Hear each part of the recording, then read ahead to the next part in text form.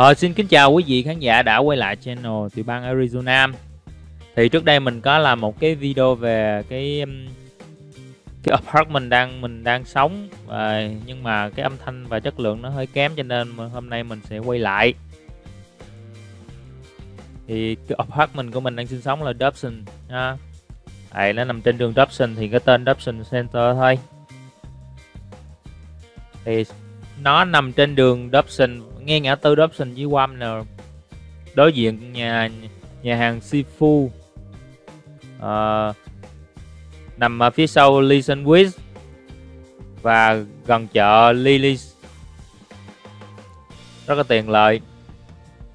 Tại gia đình mình thì à, làm trong chợ Lily cho nên mình chọn cái apartment gần gần chợ cho nên mình đi làm rất là dễ thời gian mình cũng có thể mình lựa chọn phù hợp. Rồi như mọi người thấy đó, nếu mà apartment nó có treo bong bóng như này, như thế này này đó là chúng ta biết nó còn phòng trống. Rồi, cái phía tòa nhà đối diện đó là office nha, muốn thuê nhà gì đó thì mình vô trong, liên hệ với họ.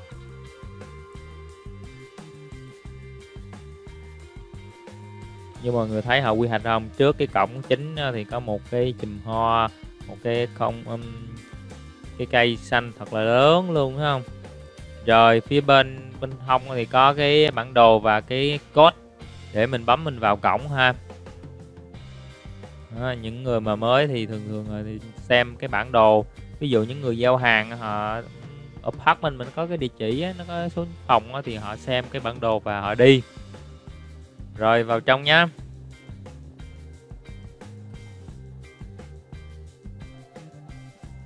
Vô. Khi mình vào cổng thì thường thường nó có nhiều cái bãi đỗ xe dành cho những người uh, sống ở đây.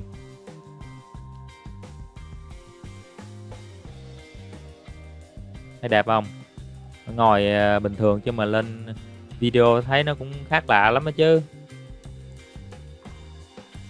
Rồi mình sẽ dẫn mọi người đi uh, qua cái hầm thư.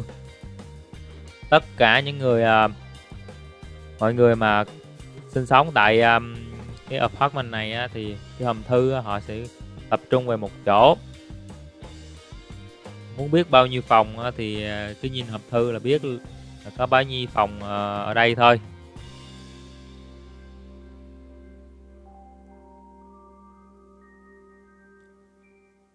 Nếu mà những người mới đến mới mua qua cái à, cái apartment này á thì đầu tiên ờ, phải xuống cái hòm thư ha, mình sẽ ghi một cái tên của mình vô. Bao nhiêu thành viên trong gia đình đó mình ghi vô. Mình ghi một cái tờ giấy nhỏ nhỏ đó. Rồi mình bỏ vô cái hòm thư của cái phòng mình. Thì khi đó thì ờ, người giao thư họ sẽ mới giao cho mình ha. Thì ở đây có nhiều hòm thư, cho nên mình sẽ giữ một giờ và người giao thư sẽ giữ một giờ. Khi họ giao thư họ sẽ mở cái hòm thư của mình vào và họ bỏ cái thư của mình vô. Để xác nhận có phải là cái người sinh sống tại cái apartment đó không thì mình phải ghi cái tên nè. Cái tuổi uh, ghi tên ngày tháng năm sinh rồi đó. Bao nhiêu thành viên ghi hết vào bỏ vô. Thì đó người đi uh, giao thư uh, thì mở ra và họ thấy họ sẽ lấy và họ ghi nhận. Và sẽ ghi một cái tờ giấy nhỏ nhỏ nhét vô cái hòm thư của mình á. Trong hòm thư mình có một cái khung nhỏ nhỏ họ nhét vô rồi thì trong apartment mình á nói chung là gần như tất cả các apartment trên à, nước Mỹ này đều họ quy hoạch giống như thế này nè thấp thấp vậy thôi. Nếu mà họ có đất nhiều thì họ làm nhiều thôi. Thì phải có cây cối nè phải có thảm cỏ này đó. À, mình đi sâu vào ha. Thì xung quanh trên những con đường thì có những cái cây bụi nhỏ nhỏ không? Ra bông rất đẹp ha. Có những cây bụi ha rồi khi mình thuê phòng ở đây á, thì mình sẽ có một cái à, bãi đổ xe mà trong cái mái che như thế này nè. Đó, có số hết nha. Rồi, ngoài ra không có số thì không có mái che thì mình muốn đổ chỗ nào thì mình đổ miễn sao tiện lợi cho mình. Rồi, cái đây là cái bảng à, mà người ta dẫn chó đi ngồi thì có một cái dây ha, dây dẫn ha, và phải dọn à, vệ sinh khi nó đi ra ngoài. À, đây là luật ha, phạt 75 đồng đến 500 đồng á 500 đô. Thì bịch họ có sẵn luôn. Mà dẫn dắt chó ra ngoài phải có dây nha. Không có dây là nếu mà người ta thấy họ phạt đó. List nó and clean nó after dog á after your dog rồi vào sâu hơn thì mọi người sẽ thấy um, apartment đây nó có hai loại một loại mà có ban công mà cái ban công ngồi là có mái che và một loại ban công không có mái che. À, không biết tại sao hết mình cũng chả không biết nữa tại vì cái ban công ít khi ra ngồi lắm bởi vì cái trời mùa đông thì lạnh cũng ai ra mà mùa hè thì nóng quá. Thường thường ngồi đó người ta để bàn ghế hoặc là đồ dư để ngồi.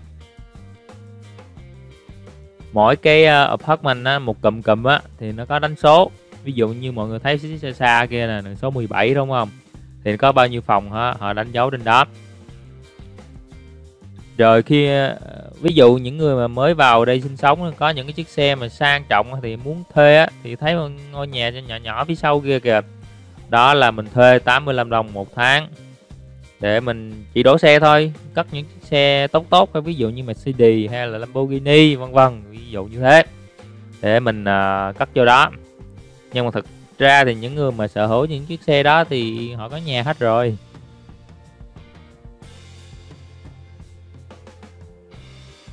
Chỗ này à, thì giá thuê, giá rent nó còn hơi mắc.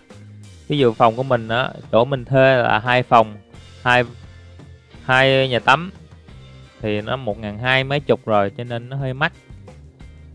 Thành ra thì vẫn còn phòng trống rất là nhiều, cho nên người ta vẫn treo bong bóng ở ngoài à, cổng chính rồi đi vào sâu hơn thì nhiều người thấy không? Mọi người chỉ thấy đó cũng ờ, bãi phần lớn bãi đỗ xe thôi. À cái chỗ này nè. Cái uh, à, cái thùng rác. Mỗi cái cụm nó có một cái thùng rác riêng ha. Cái nơi này là thì mình dục uh, rác sinh hoạt ha. Ngoài cái rác sinh hoạt ra thì có một cái mà nhiều người họ họ hay thường dục hay đối với những người mà mua đi á, là những đồ dùng của người ta. Họ không dùng nữa. Dùng được nhưng mà người ta không dùng nữa hoặc là người ta muốn bỏ thì họ đem ra đó người ta bỏ.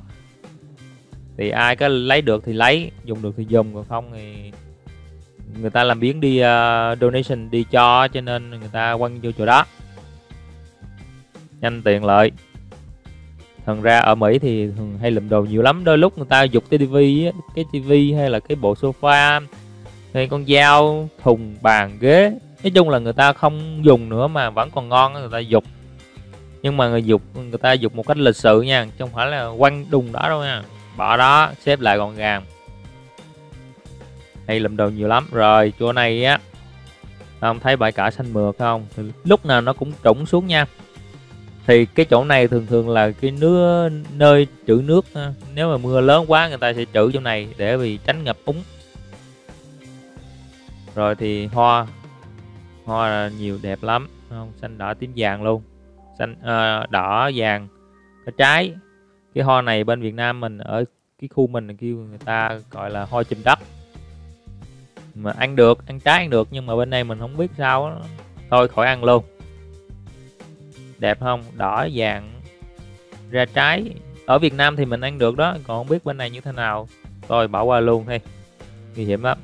Không biết ờ, trái cây bên này như thế nào, mình cũng không rõ có giống như Việt Nam hay không. Rồi, sẽ dẫn mọi người đi tham quan một cái ờ, hồ bơi.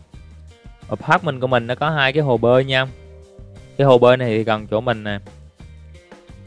Hiện tại thì có mấy người đang ta, tắm trong ngày cho nên mình không có tiện quay. Hồ bơi thì phải có hàng rào để cách biệt nha.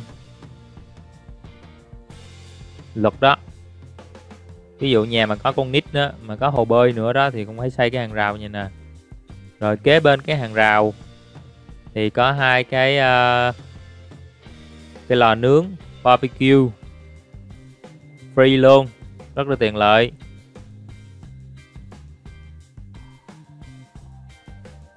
Rồi chỗ này cũng có cái bảng à, cảnh báo ha dẫn chó luôn. À, à, mọi người sẽ biết là ở Arizona này à, thì những cái ổ điện thôi để qua bên này nói cho nó dễ mình quay lại cho nó dễ. thôi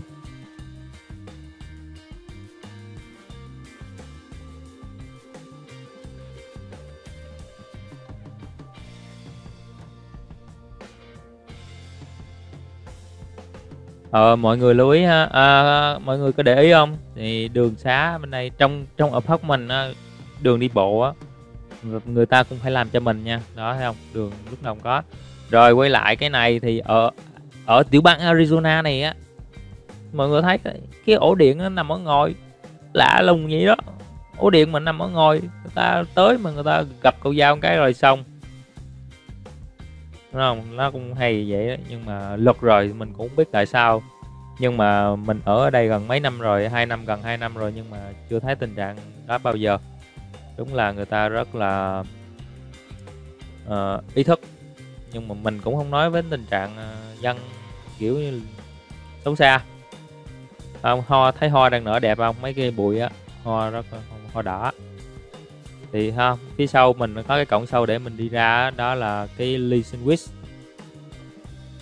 đối diện ly Sandwich thì uh, chợ ly Ok video của mình tới đây là kết thúc ha. Cảm ơn mọi người đã uh, xem cái video của mình và nhớ subscribe cái channel của mình để ủng hộ cho mình ờ, uh, nha và mình sẽ cố gắng ra những cái video thường xuyên hơn cho mọi người xem. Rồi xin chào xin thân ái chào tạm biệt. Bye bye.